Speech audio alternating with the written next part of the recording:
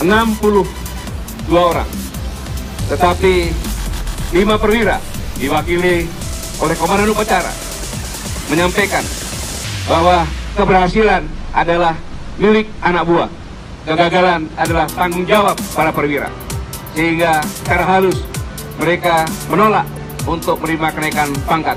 Ini suatu hal yang sangat luar biasa yang membuat kami semuanya terharu. Saya ulangi para perwira meminta menjelaskan bahwa keberhasilan adalah milik anak buahnya. Apabila kegagalan adalah tanggung jawab perwira, maka sepantasnya yang mendapatkan kenaikan pangkat hanya anak buahnya. Maka lima perwira tidak menerima kenaikan pangkat, tetapi diberikan pendidikan secara khusus mendahului rekan-rekannya. Inilah contoh teladan bagi prajurit-prajurit